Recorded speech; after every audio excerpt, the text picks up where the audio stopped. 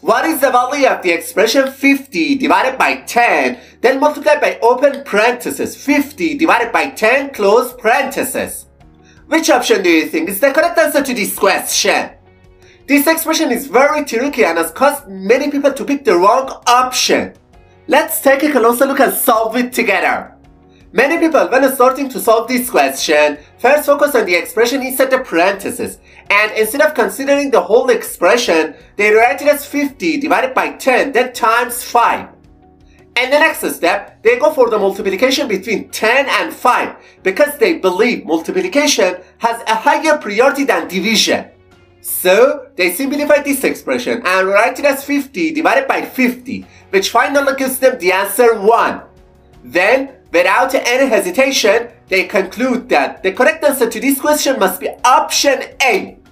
However, this answer is absolutely wrong. Alright, now let me explain how to solve this expression properly. To solve this question, we need to follow the PEMDAS rule step by step. According to this rule, P stands for parenthesis, E stands for exponent, M stands for multiplication, D stands for division, A stands for addition, and S stands for subtraction. We must carry out these operations strictly in order from top to bottom.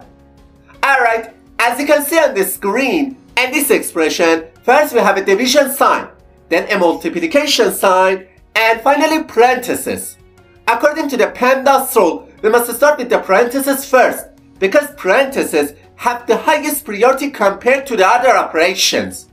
So, we can write this expression as 50 divided by 10, then times 5.